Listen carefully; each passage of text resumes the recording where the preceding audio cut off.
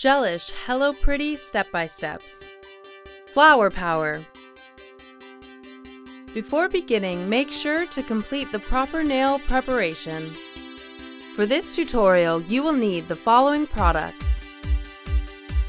After filling your Dappen dish with Prohesion Sculpting Monomer, pick up a bead of Prohesion Express White Sculpting Powder. Gently press and work with the bead to create the shape of a petal. Repeat this step until you have five petals. Be sure to leave an open space in the middle of your petals. Using an acrylic brush and Hephaestus, place a yellow circle at the middle of the five petals created. Using black shadow and a striper brush, draw a happy face on the top of the yellow circle created with Hephaestus. Cure for 30 seconds in the 18G LED light. Apply a thin coat of Top It Off Sealer Gel, making sure to cap the free edge, and cure for 30 seconds.